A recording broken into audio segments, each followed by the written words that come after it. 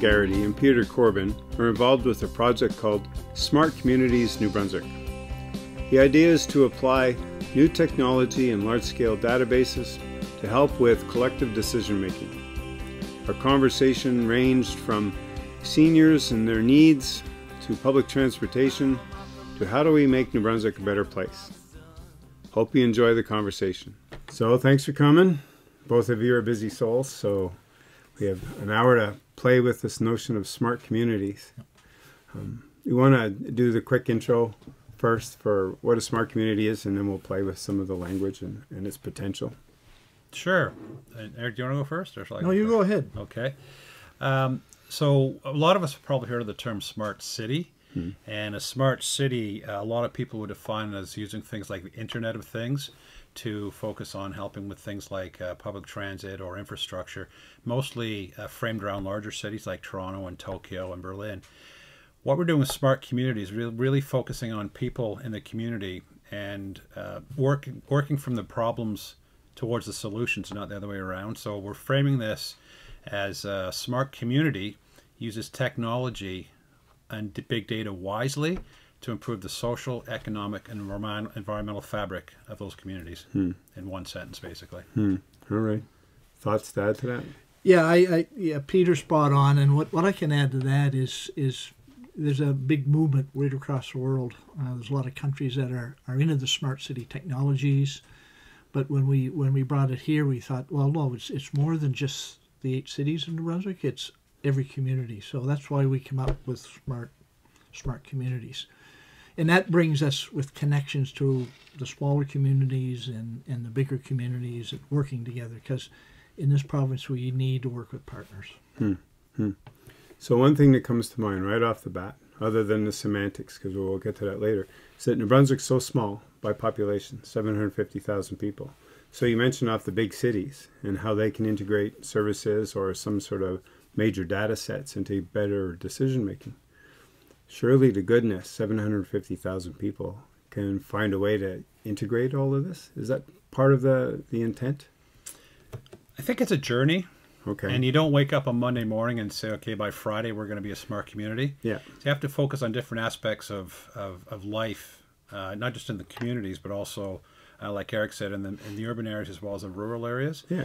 Uh, but also different aspects of life, whether it's uh, you know social inclusion, um, new Canadians, how do we integrate uh, them better into the community? Attracting new Canadians, immigration, uh, energy, economic development, tourism, uh, transit uh, issues, uh, a- access to internet. Yeah. So all of these issues kind of come together and connect. So the question is, how can we identify opportunities uh, in various communities and what's scalable? So something can be solved in Edmundston and Miramichi maybe can also be solved in Bathurst and Sussex and Fredericton as well, for example. So really linking them all together and in doing so bring a lot of efficiencies uh, from a solution perspective to make them uh, more cost efficient and effective for smaller communities. Okay. At, at this point, it probably would help to have an example because that's that's like brochure talk, which is great. Sure. Here's the big framing and stuff. Um, most of us have a list of things that we want to see better in New Brunswick. many of the guests have come on and said, "Well, we need to do this better, that better." They're very good at defining the problem, um, getting at the solution. Sometimes different story. Is it, is it, you know, we know what, but how becomes another challenge. Um, so, is this specifically uh, IT world applied to social relationships?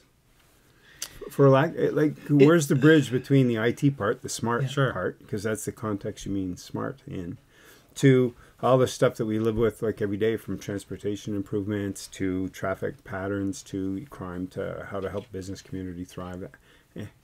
can you bridge well yeah, there's it you, you, use the technology to bridge the social part of it and and there's a couple a couple of things with that is and just before we get into that let's go back to what it is the Internet of Things, but it's we call it the smartness of everything. So everything a community, a city, a town, a village, or an LSD does, they have to be smarter today. Hmm. They'd be more efficient, no doubt about. It, especially in this province, we know what's up we're up against. So why can't we, as as smart communities, work together and provide services uh, to everybody?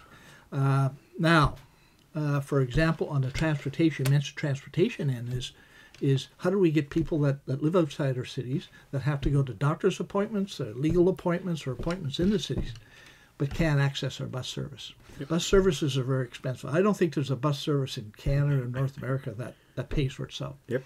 So it's all subsidized by, by local government, sometimes provincial governments. Uh, in this province, we don't have a provincial transportation policy yet. Hmm. Hopefully, we'll get that. So it's moving people that, that and to complicate that is we have a very aging population. As you know, a lot of our younger workers are, are going to where the jobs are, mm-hmm. especially out west. So that means in smaller communities, the the mean age is up to like 50 or 55. Mm-hmm. So these people are in their communities. They don't have that support. Their families are out west or in the states or yep. overseas. Yep. So how do we help them out, and how do we get them into the services in the city? So there's there's companies out there with smaller buses, feeder buses to hit our bigger buses in the city. That puts people on our buses. That helps us on, on the bottom line, less subsidization because we're, we're getting more people to use it. So it's you know we there's different things you can do there too. It's it's a lot. We have to look at that. that's one one area where we we I think we can we can get a gain. Uh, the other one is uh, when you talk about smart cities you have your framework, and then you have sensors. And sensors collect data, data, data. So that data is collected, it's analyzed, and if you're a politician, you you've got better data. And what better data is is you're more informed, you hmm. make better decisions. Hmm. So, uh, for example, we could have street lights in cities that can instead of being a street light, they could be cameras. They can. Uh, I know in some state uh, places in the states they they pick up gunshots. Hopefully, we don't have that type of problem here. We're mm. far from that, yeah. but these are some of the things that can be explored. Uh, that, uh, and I think if you can, I'm always a big proponent of, of keeping people safe in their neighborhood and enjoying their property. So you get mm. right down to the neighborhoods, and some of this technology will, will help that social thing. Hmm. Thoughts to add to that? I'm starting to get a picture. Right. So that means maybe the audience is starting to get yes. pictures, so it's good because yeah. it's a, it's a big picture thing. So to narrow it down to some specifics is helpful. Right, like Eric said, I, it, you you do have to break it down to specifics, right? So, for example, um, I was talking to a young man who is uh, doing his PhD at University of New Brunswick in St. John. He's from Iran originally, and he got he got brought to St. John to focus on urban planning. And he has been looking around the globe for really effective applications to help improve the efficiency and request for specific items for food banks. Mm-hmm. Apparently, it doesn't exist. There's one in London that doesn't get used well. So, what he would like to see is an application that would engage citizens and communities to actually let them know exactly what's needed when. So, almost a real time delivery of specific items or food items, uh, such as you know socks or, blankets or, or, what have you. Yeah. Um, so there's there's one example, just sort of connecting people. so there are a lot of lot of applications like that from a connection perspective.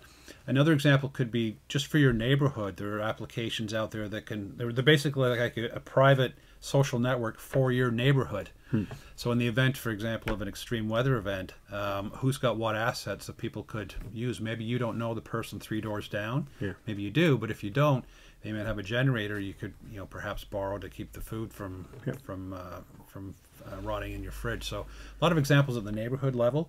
Um, there, there's just a couple right there. Yeah, and it, you could easily picture it could go on. You pick a topic and then go three questions deep, and you'll go tuk tuk tuk, and this is how it would work. Exactly. So, so it won't matter the topic. The process will be more interconnectivity between people. And it yes. sounds like real time too, to an element. Um, there was a company that used to be in Fredericton a few years ago. He was working on a I can't remember his name now. Live streaming data for hospital management over in India. Hmm and and the whole notion of that any manager at any given time in a major hospital in India could go in, hit some buttons, and find out how many towels there were, or how many syringes there were, or from inventory right down to patient movement through. But it was like an instant snapshot every moment instead of um, your information's sort of older. Right. There's there's actually a company in Moncton and Fredericton, a startup, a young lady called Amanda Betts, and her company's called eHealth Chart. So her family run a couple of um, uh, homes for elderly, and she was looking for an application that would help their caregivers know what's going on with their care. Like, well, is my mother, you know, is her is her uh, medications being delivered on time? What's her, you know, um, how's her health doing? There's nothing out there she liked, so she like remember Lee Iacocca said I was so impressed I bought the company. She she was so not impressed she built a company. So she's now developed this application specifically for keeping caregivers in the loop with respect to the health care for their for their uh, parents.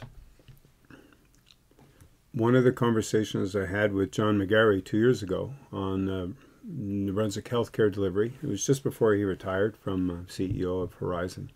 And he talked to how New Brunswick was really well suited for regional healthcare model and regional healthcare delivery. His obstacle was an emotional one uh, that from the 60s, we have a culture here of depending on uh, my community needs to have a hospital. And the hot button issue two or three summers ago was the St. Stephen Hospital and retooling the structure of its purpose as well as aligning some services in St. Stephen or in um, St. John. What came up through the conversation with different people after that interview was that the real solution to the next level of challenge was the transportation one. So when you talked about transportation moving people, a lot of people in St. Stephen had no problem with the hospital morphing into whatever the new uh, iteration would be because they accepted the logic of the efficiency of the bigger hospital handling certain amount of elective surgeries. Where they were stuck was that nobody addressed their transportation problem from coming from here to going to there. So is that another example of where something like this might help build bridges and deliver uh, maybe an entrepreneurial bus service that deals with from here to here? Actually, there is a bus service now from Charlotte County to St. John. Is there? Yeah, it started up I think last fall. So yeah, there's a bus service now. Okay. Yeah, And there, it- there's there's things like Uber out there that you know, they they I don't think they're really established here, uh, so we have to look at that park and go rise. But it's these maybe these smaller services extending into the communities that somebody needs to get to their doctor, and their doctor is 50 kilometers away in a in a bigger community. If you're going to shut down your hospital, then you you have and you're right, you have to provide that that person a way to get to them to, Yep. to their appointments, and it's it's it's a necessary thing. That's what I'm saying we have to look at the transportation, and it's going to be a regional, uh, provincial transportation system. So Do, do, just not there yet, but yeah, yeah. Well, it's planting the seeds right now and Yeah. trying to get a conversion of a behavior, which is a whole other theme to talk about. Because technology might invite us into a certain awareness, but people have to change how they've been doing things for a while, and that's another challenge. Do you have off the top of your heads what you think the four or five key areas or two or three key areas would be to go at first?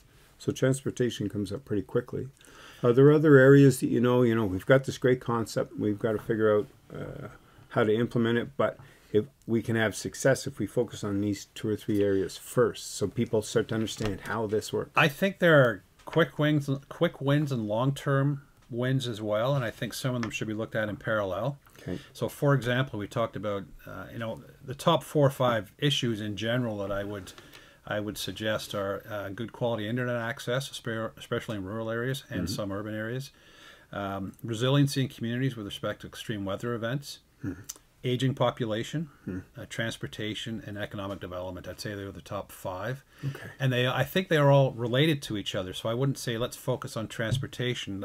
When you say focus on transportation, uh, maybe there transportation may be a solution to a problem. You haven't asked enough questions to find out what the problem is yet. Yeah. Whereas transportation could be part of the solution. Yep. So, for example, up in Edmonton, uh, they've got a booming economy up there. They can't find people up there. They've got a number of manufacturing co- co- companies up there. They can't find employees. Yet, if you look around the 20 or 30 kilometer radius around Edmonton, there are a lot of people that could work if they had transportation, right? So maybe there's a private sector solution there, perhaps. Yep. Uh, if you look at, uh, you mentioned earlier Charlotte County and the hospital, perhaps like you said, you change the paradigm a bit and you look at how you actually help a lot of people, um, especially from an elderly uh, person uh, perspective. How do you help them uh, age in place longer, healthier, and safely as well? Yep. So there are a lot of technologies today available to create what I would call a smart home for seniors. So not just physical um, things like you know door handles and non-slip floors and, and that kind of thing, but also technologies that can monitor uh, you know someone's health from a you know heart rate, uh, and, and activities and behaviors in the home. So perhaps there are things that can be done in a home that could actually be proactive with respect to addressing health concerns that may that may reduce the amount of necessary trips to a hospital in the first place. As an example, so basically using IT to decentralize some of the more proactive uh, potential healthcare um, assistance. What you say complements what Karen Lake said on the show two, three weeks ago about in home care and the use of new technologies to help the person stay at home longer. and we have to dig down. It's when you talk about a, an aging population and seniors, and we have to change the the dialogue that's going on. And once you start changing the dialogue, you change the attitude. Yeah. So people are, you know, you, you hear, uh, oh, the silver tsunami, we're at the the the aging, uh, we're on the cliff. The you know, people are looking at the negative aspects, Yeah. and a lot of this stuff is not really based on anything scientific or financial. So flip that around and look at the opportunity.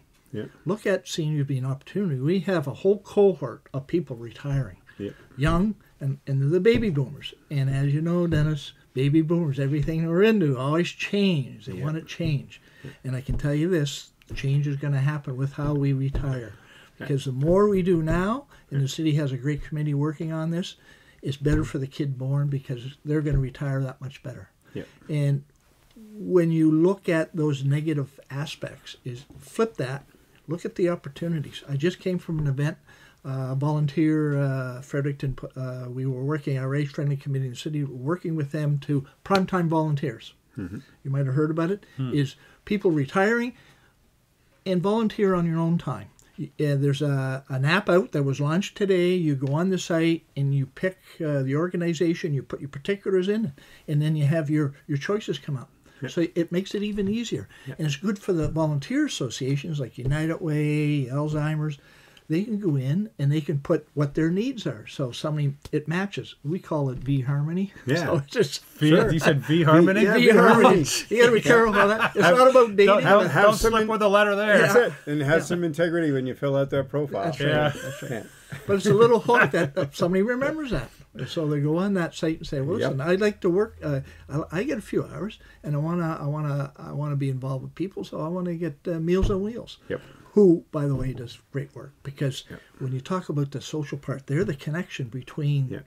the outside world and the inside world. The people that that can't get out, and they, when they go in their house, they can say ah, something's not right. So they're trained enough to say, no, we need somebody in there to find out what's going on. Maybe it's a health thing or Yeah. This might seem like a, a vague question, but listening between the gaps of what both of you are describing, um, and Peter, you alluded to it earlier, like you could focus on a specific thing like transportation, but that might not be the solution to the problem. It might be a piece of it. Correct. Just like you mentioned, Meals and Wheels. It, yeah, there's the food element, but the social element, the human contact element, yeah, all those things.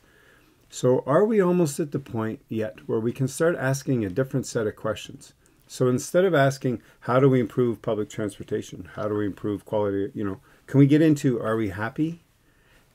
Or do we have the quality of life in the community we need? You know, those, those funny, odd, touchy feely, broad based questions sometimes get you into the spot where all those other ones congregate. Rather than oh we're going to talk about food security and then you're quickly going to find transportation and storage issues right around it. So it feels like uh, we never get off the treadmill for how to fix it. So sometimes if you pull back and ask a different kind of question all those pieces now start to want to fit into a pattern at last and it sounds like this technology might give us a perspective that gives us a sense of the pattern Well, I, I you kind of get where i'm going yeah, with g- that when you say quality of life, to me, quality of life should be right in the middle of the circle. yeah right? And eh, when you talk about quality of life, I mean, there are a lot of jobs available in this city and in this province. The cost of real estate, you know, compared to say Vancouver, you know, we can buy a home in, in New Brunswick for the price of the HST and a home in Vancouver, right? It's Yeah. probably three times the size. yeah Uh, but I would, um, I'll give you an example of quality of life. This uh, this may seem menial, but the hotspot parking app, Okay. for example, right? It's a number of cities. It's founded here in Fredericton.